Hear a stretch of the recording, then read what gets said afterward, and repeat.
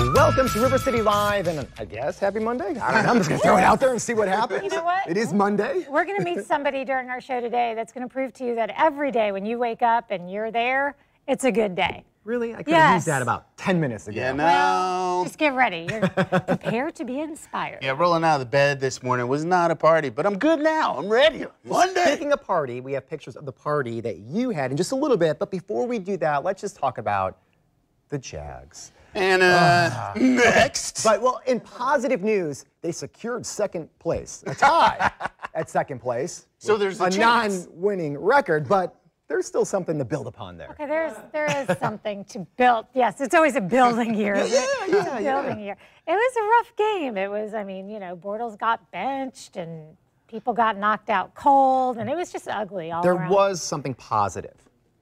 It was really nice outside. you know, so everybody who did go to the game, it was nice out. And, and I'm going to say something that's going to be controversial, but here I go. All right, All right. do it. So when we were having uh, such a great season last year and at the beginning of this season, and my husband and my son, who have gone to every game through the time that we were never winning, I said, nobody deserves this more than they do to enjoy this. So if when we get back on track and we start winning again, you want to be that person that truly deserves to enjoy it, you got to stick with the Jags now during the low spots, which means come out to Sneakers tonight and support the Mark Brunell show. It's going to be a rough time because we're going to talk about some things that aren't so fun.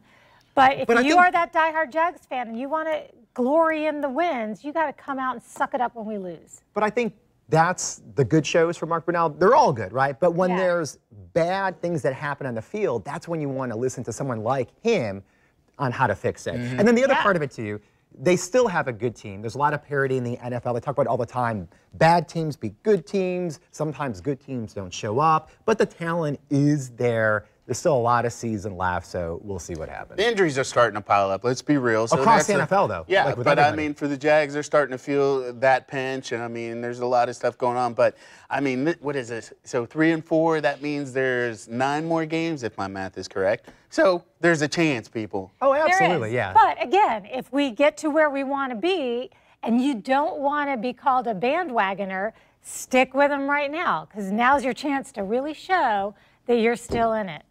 See what There I you go. did Oh, there? that got so powerful. I tried to shame everyone into showing up tonight for the Mark Brunell show. I was doing. Yeah, I'm touched. Are you? Good. I'm a little verklempt.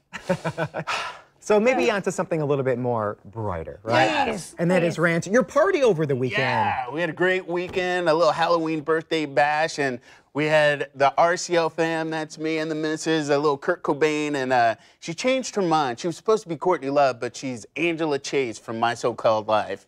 Uh, there we got George Michael and Olivia John, Newton-John circuit. Let's get physical. Because part of the invite was, you know, pick a decade. So we had 80s and you had 90s. Mm-hmm. Mm -hmm. And then, uh, who is that? Is that Freddie Mercury? That's our executive producer, Justin, as Freddie Mercury, and our producer, Abigail, as the, the a witch. She She was was, a a witch. witch. But let me tell you something, and I said this to her because I've seen her actually perform in, in musical theater. She walked in and stole the show. I Yeah. mean, this wig was enormous, and there we are. We got Red that's Foo in Ryan. the back. Red Foo. Yeah, Ryan is in Party there too. rockers in the house tonight. We had a lot, and then uh, so there they are. I think uh, we've got some pictures. Uh, one of a friend of the show. Oh, there's the Mrs. Peyton. Yeah, in the middle there as a hippie. She's like, you know what? I want something really like just like laid back and easy to do. So she totally captured that being laid back and easy to do. Who handed me that beer for that picture? That's, that's crazy.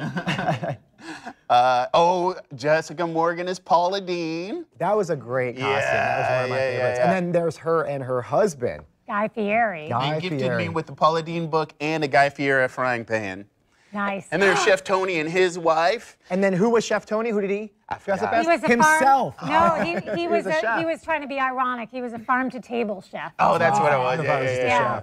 Yeah. And his Yeah. wife Allison, and then the, there's Mr. Kendall and my friend Marcy's husband Mike, and uh, Mr. Kendall trots that same costume out for everything. it's it's from the movie Semi Pro. He's Jackie Moon. Nobody gets it, but he wears it every Oh, I get year. it. That's a classic, yeah. Okay. But you know, it's kind of funny. So before we were leaving for the party, you know, I had the blonde tips of my hair and the fake earring and all that stuff, and I'm trying to give our babysitter instructions on what to do. I'm like, well, we want the kids in bed by 10 o'clock, and you know, help yourself to food. And she, the whole time, she's got like a smirk, like, she can't just take this serious. I'm putting on the leather jacket, strapping on the guitar. We're like, call if you need anything. it's a really weird scene altogether. There were some good costumes. I gotta give. I Oh, gotta absolutely. give That's that a lot part. of We fun. didn't see it, but Colonel Sanders and his wife was Oh, a yeah. chicken. That was good, yeah. Yeah. That was great. Yeah, it was a good Rance time. probably had a conversation with her for how long before you knew she was a chicken? Yeah, it was like 30 minutes before I finally. I was like, "Oh, you're a chicken," you know, because he was Colonel Sanders, and it, I was like, "What is all this red stuff on your face?" So yeah, I'm not that smart.